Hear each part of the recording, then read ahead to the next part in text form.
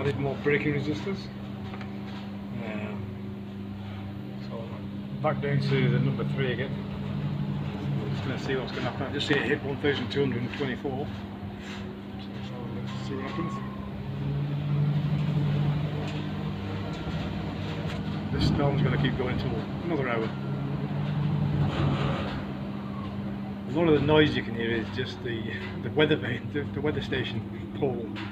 It's just creaking a bit. I need to secure that a bit better.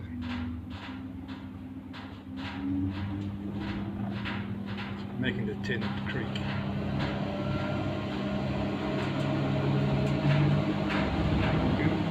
Big one.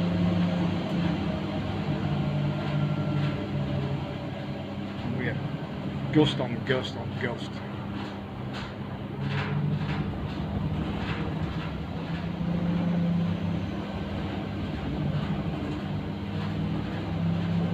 Top of coming through.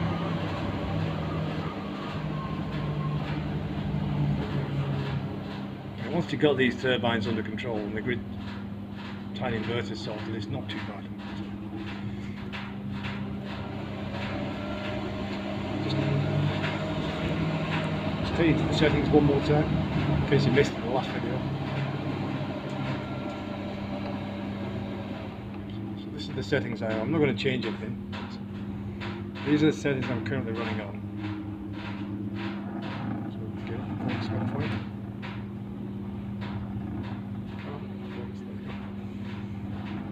So 30 volts, I'm pulling the maximum current I possibly can from the turbine. And I've got a dump load kicking in at 48 volts, which is which is good for this one. I'm Just gonna go back to the normal. Do never don't like to save it when you've got big wings like this. It'll just go out of control for a bit.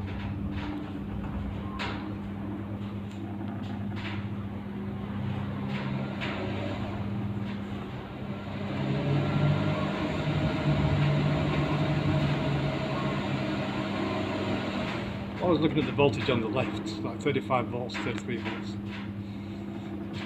The lower it is, the better it is for this wind turbine. You've got to keep it low. You don't want it to get up above 60. It's just not sensible. 60. Uh, normally these come with a setting of 60 volts for the dump load, which is just too high. Um, the dump load they come with a, doesn't uh, doesn't control the B&C turbine. It's not enough uh, resistance, or not, not low enough resistance.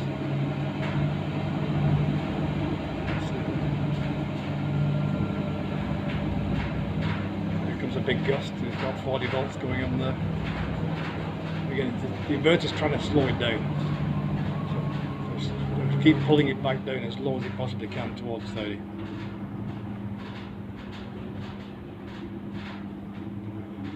That's the only way to keep this, this turbine under control. It's just so much power when there's a gust of wind.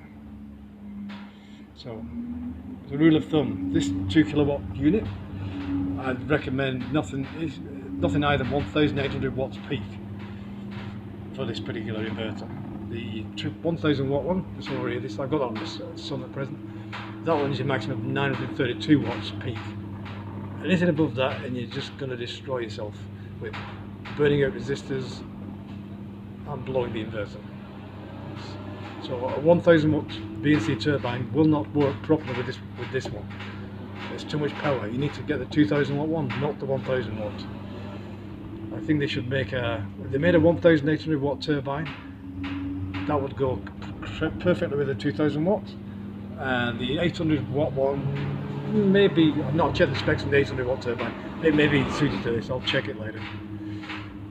But, uh, you mustn't go above the maximum rated input of these things. Okay, this one's 932, that's a 1000 watt, 24 volts. This one is a 2000 watt, which is 1800 ish watts. So you can't go above that. Okay, it doesn't seem like it's going to be much windier than this. So I think I've had my best winds today. So um, I'm going to leave my settings on 3 for now and keep my eye on it.